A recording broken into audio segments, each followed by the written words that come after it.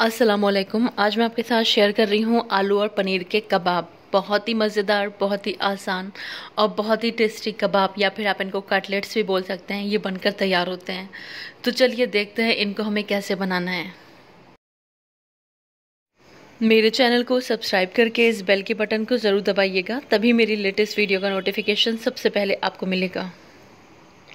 पनीर आलू कबाब बनाने के लिए मैंने लिया है 150 ग्राम पनीर, जिसको मैंने कद्दूकश करके रखा है। तीन मीडियम साइज़ के आलूओं को मैंने उबाला और हाथों से मैश कर लिया। अच्छे से मैश करिएगा इसमें लम्ब नहीं होने चाहिए। और एक टेबल स्पून लेवल करके मैंने कॉर्नफ्लावर लिया है। आप चाहें तो अरारोट ले लें या फिर भुना हुआ बेसन भी ले सकते हैं इसकी जगह पर। आधा टीस्पून अदरक और आधा टीस्पून लहसुन का पेस्ट लेंगे। पाउडर्ड मसालों में लेंगे एक टीस्पून चाट मसाले का पाउडर एक टीस्पून लेंगे नमक। आधा टीस्पून लेंगे काली मिर्चों का पाउडर एक टीस्पून लेंगे ज़ीरे का पाउडर आधा टीस्पून लाल मिर्चों का पाउडर एक तिहाई छोटा चम्मच लेंगे हल्दी आधा टीस्पून लेंगे गरम मसाले का पाउडर एक टीस्पून भर के लेंगे कुटा हुआ साबुत धनिया आधा टीस्पून लेंगे न, आ, लाल मिर्चें कुटी हुई। एक मीडियम साइज़ की प्याज को मैंने मोटे वाले साइड से कद्दूकश करा और उसका पानी निचोड़ दिया। पानी बिल्कुल निकाल दीजिएगा उसके अंदर से। और इसके साथ दो तीन हरी मिर्चें लेंगे आधे नींबू का रस लेंगे और एक मुट्ठी करीब हरा धनिया लेंगे। तो सबसे पहले हमें ले लेना है एक बड़ा मिक्सिंग बोल और इसमें हम ट्रांसफ़र कर देंगे पनीर। और इसी के साथ जो हमने आलू उबाल के रखे हुए हैं, वो भी हमें इसमें डाल देने हैं। आलूओं को आप जब उबालिएगा तो उसको फ़ौर ही पानी में से निकाल लीजिएगा, वरना अगर वो पानी में पड़े रहते हैं तो वो पनीले से हो जाते हैं और कटलेट्स फिर अच्छे नहीं बनते। और सारे पाउडर्ड मसाले हम इसमें डाल देंगे। इसी के साथ डाल देंगे कॉर्नफ्लावर आप चाहें तो भुना हुआ बेसन डाल लें या फिर अरारोट डाल लें, ये बाइंडिंग का काम करता है, कबाबों को बांधने का काम करेगा। अदरक, लहसुन का पेस्ट भी डाल देंगे और इसी के साथ डालेंगे प्याज, हरी मिर्च और हरा धनिया। नींबू का रस भी इसमें निचोड़ देंगे। और इन सभी इंग्रेडिएंट्स को बहुत अच्छे से मिला देंगे। एकदम अच्छे से मिक्स कर देंगे। यहाँ पर हमारा मिक्सचर तैयार है। अब हमें यहाँ पर इसमें से छोटे छोटे पोर्शंस लेने हैं और इसको कबाब का, यानी कि कटलेट्स का शेप दे देना है। तो आप अपने मन चाहे शेप का इसको रख सकते हैं।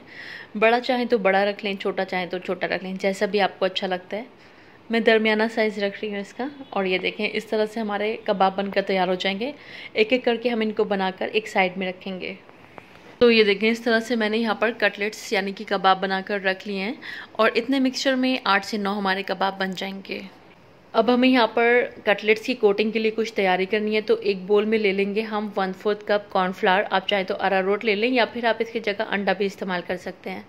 और वन फोर्थ कप ही इसमें पानी डाल देंगे, अच्छे से इसको मिला देंगे। और यहाँ पर हमारा कॉर्नफ्लावर का घोल यानी कि कॉर्नफ्लावर स्लरी बनकर तैयार है।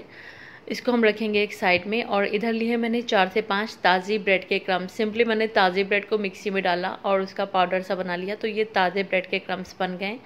अब हम एक एक करके अपने कटलेट को डिप करेंगे कॉर्नफ्लावर की स्लरी में, या फिर आप अंडे का घोल, अंडा ले लीजिएगा, अंडे में डिप कर लीजिएगा। और उसके बाद हमें इसमें कोट करना है जो ब्रेड क्रम्स हमने लिए थे। इस तरह से अच्छे से इसको कोट करेंगे और ये देखें, इस तरह से हमारे कटलेट्स तैयार हो जाएँगे। अब हम चलते हैं नेक्स्ट प्रोसेस की तरफ़। तो इस तरह से वन बाय वन करके मैंने कॉर्नफ्लावर के घोल में और ब्रेड क्रम्स में सारे कबाब को कोट कर लिया है। इस पॉइंट पर आप चाहें तो इसको फ्रीज़ कर लें, किसी एयर टाइट कंटेनर में डालकर आप इसको फ्रीज़ कर सकते हैं और चार से पाँच दिन तक आप इसको यूज़ कर सकते हैं। अब हमें मीडियम फ्लेम पर तेल को गरम करना है। मैंने हाफ़ कप के करीब तेल को गरम कर लिया है। अच्छा परफेक्ट मीडियम हॉट रखिएगा और गैस की फ्लेम को मीडियम ही रखेंगे।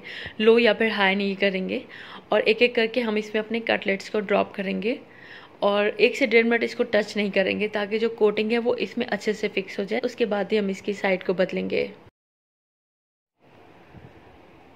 अब हमें इसकी साइड को बदल देना है। जब आपको समझ में आ जाए कि कोटिंग इस पर फिक्स हो चुकी है, तब इसकी साइड को बदलिएगा। गैस की फ्लेम मीडियम ही रखनी है, इस बात का ध्यान रखना है। लो बिल्कुल भी मत करिएगा। अब हम इसको परफेक्टली गोल्डन हो जाने तक दोनों तरफ़ से फ्राई करेंगे। तो मैंने अच्छा सा कलर आ जाने तक इनको फ्राई कर लिया है। बहुत अच्छा कलर आ गया है। एकदम क्रिस्प हो गए हमारे कटलेट्स तो अब हमें इनको निकाल लेना है।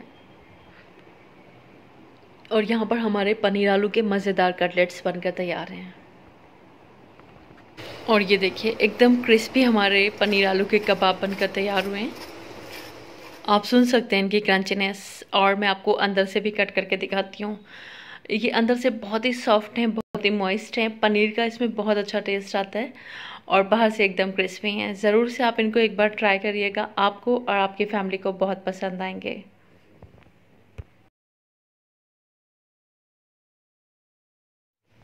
आई होप आपको मेरी पनीर आलू कबाब की रेसिपी पसंद आई होगी। ज़रूर से इसको ट्राई करिएगा। बच्चों को आप लंच बॉक्स में भी दे सकते हैं या फिर आप इसको इवनिंग स्नैक में बना सकते हैं।